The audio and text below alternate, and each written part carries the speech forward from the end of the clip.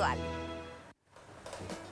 Tenemos más en la revista esta mañana, nos visita el doctor Iván Arjona, él es médico gastroenterólogo y con él estaremos conversando acerca de los posibles excesos en esta fiesta de fin de año en cuanto a alimentos y bebidas se refiere. Doctor, muy buenos días.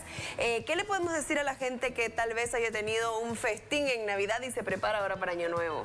Bueno, el primer consejo es que hay que tener mucho cuidado en cuanto a no consumir bebidas alcohólicas en exceso y también tener cuidado en cuanto a la preparación y el consumo de los alimentos, porque también pueden haber intoxicaciones alimentarias que se ven con mucha frecuencia en esta época del año.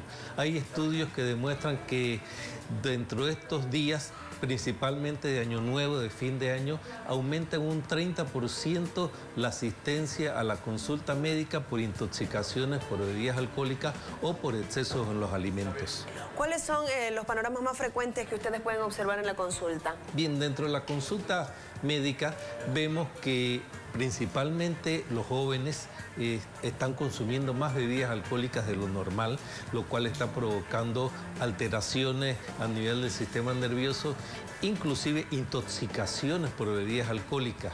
Por otro lado, se está viendo que la población tiende a consumir alimentos que son comprados en otros lugares, que no son preparados generalmente en la casa y hay que tener el cuidado necesario sobre dónde comprar esos alimentos, quiénes preparan esos alimentos, porque si el alimento viene en malas condiciones o viene contaminado por bacterias u otros tipos de organismos, seguramente que van a provocar algún tipo de intoxicación y van a provocar algún tipo de alteraciones a nivel del sistema digestivo que pueden manifestarse por náuseas, vómitos, diarreas, dolores abdominales que van a hacer que la persona tenga que ir al hospital.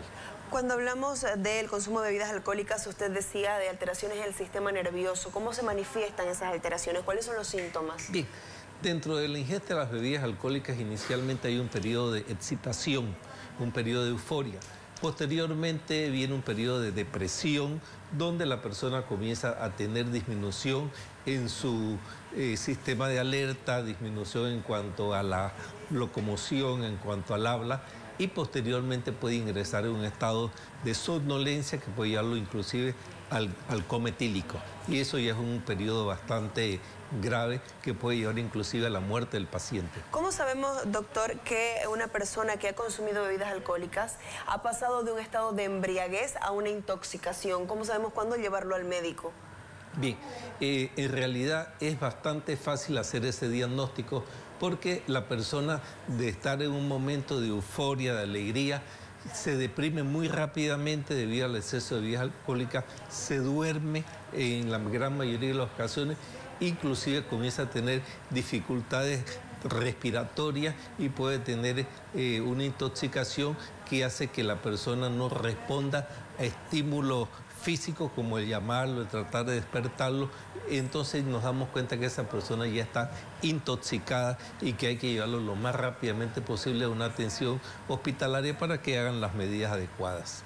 En cuanto a la intoxicación digestiva, ¿se puede tratar en casa o debemos recurrir eh, a un médico siempre? Bueno, originalmente podemos tomar algunas medidas caseras, pero eh, no siempre es suficiente. Entonces, en esas ocasiones que no funcionan este, las medidas caseras, hay que llevarlo a la atención médica.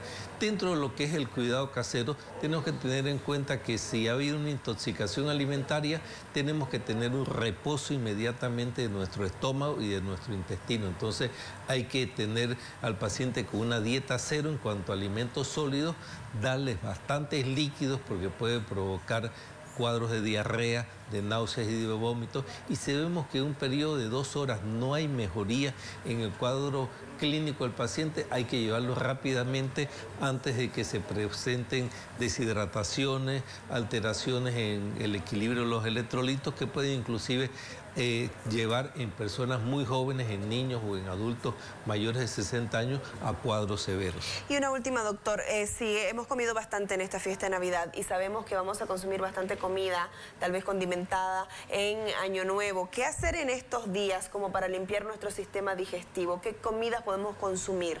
Bien, en estos días principalmente hay que hacer un reposo a nivel intestinal. Y para hacer un reposo a nivel intestinal tenemos que tener una alimentación que nosotros llamamos blanda y blanca. Esa alimentación blanda y blanca supone consumir locro, caldos, sopa, eh, té con galletitas de agua, eh, arroz blanco sin freír, puré de papas, papas hervidas, pollo hervido, y tratar de evitar dentro de lo posible el exceso de grasa y tratar de evitar los picantes y los condimentos que son agresores de la mucosa intestinal.